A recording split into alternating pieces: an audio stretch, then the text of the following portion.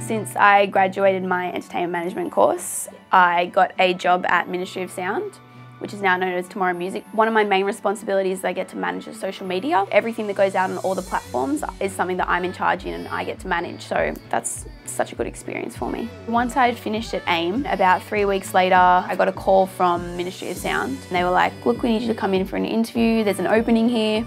And I was like, okay, yes, awesome, because you know it was one of my dream jobs to work at Ministry of Sound. Since working there, I pretty much have my foot in everything. I'm their receptionist, I'm the social media manager for Ministry of Sound Club, and I'm also head of their internship program. So I'm now recruiting interns in our marketing department, touring department, and graphic design department. It's the best job that I've ever had. And I went from working at a fast food restaurant since I was 14 starting Tomorrow Music and it's just the best thing that's happened to me. I chose to come to AIM because I felt like it would give me a sense of purpose.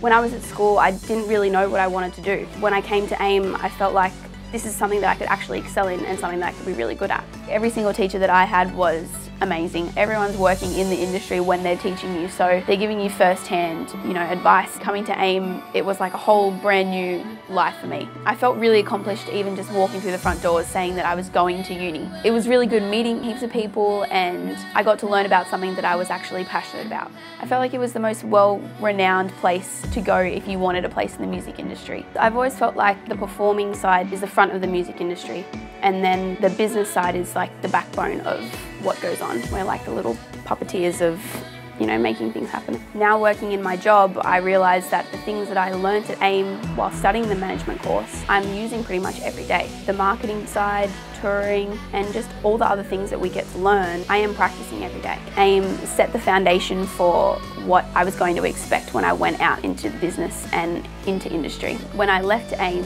going into a business, it just seemed like a seamless transition.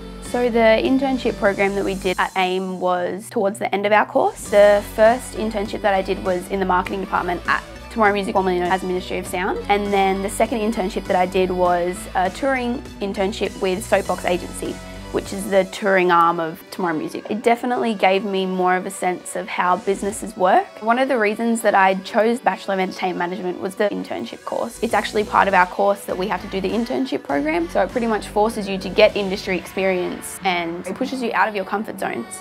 AIM was like the industry leader in putting people into the industry and people actually have successful careers. If you have a passion about anything in life, not just studying, you need to just go for it. If it's something that you want to do, you need to make it happen or it's not going to happen by itself. If you were thinking of joining AIM, just do it. Coming to AIM was one of the best things that I ever did.